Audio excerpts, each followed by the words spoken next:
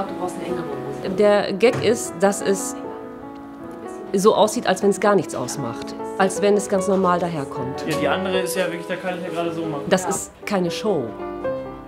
Da, wir wollen ja glaubwürdige Figuren zeigen, die ihr Problem behandeln, die diese Geschichte erzählen.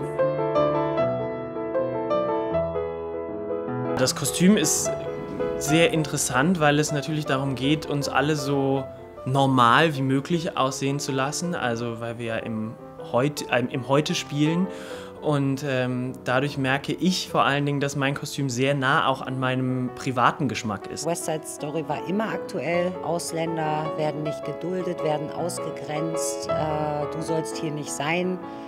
Das ist unsere Straße, du bist fremd, du bist anders, geh weg. Bis hin zum Fight, bis hin zum Mord. Ich spiele die Rosalia. Rosalia ist Puerto Ricanerin und sie möchte, also sie ist jetzt in Amerika, aber sie möchte sehr gerne zurück nach Puerto Rico weil sie ihr Land so schön findet.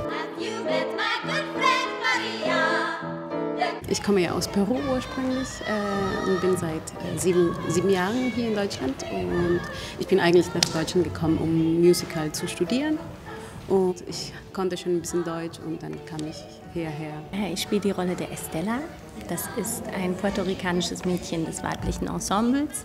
Wir sind die sogenannten Shark Girls. Für uns ist es genau das Gegenteil. Also wir sind total glücklich, dass wir eigentlich äh, hier in Amerika sind und wollen uns ein ganz neues Leben aufbauen. Und ähm, hier ist einfach alles viel besser als in unserem eigenen Land.